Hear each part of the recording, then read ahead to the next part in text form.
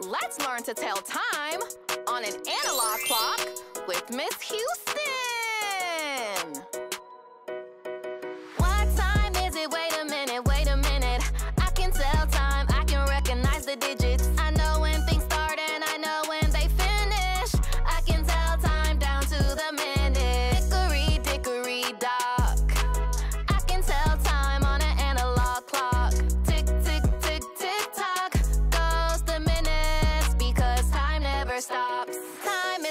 Concept of measuring how long things take. How long is it? How long ago or how long in the future will things take place?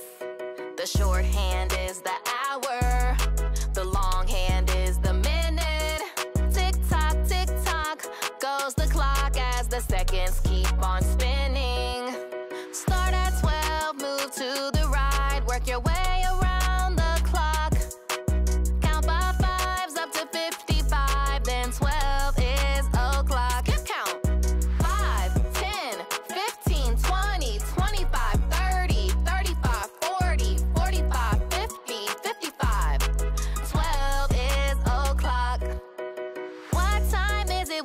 minute, wait a minute.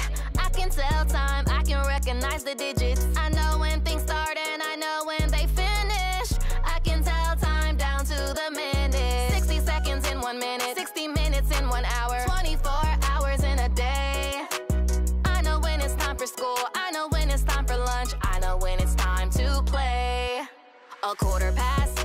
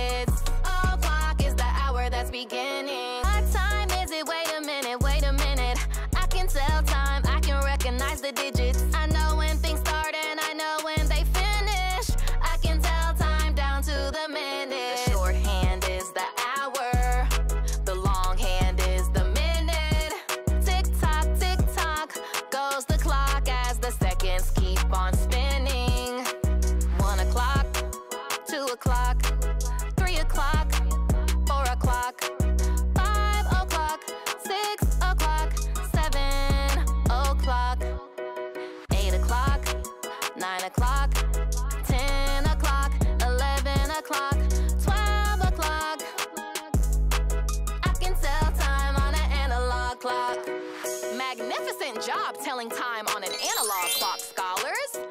Thanks for learning with Miss Houston. See you next time.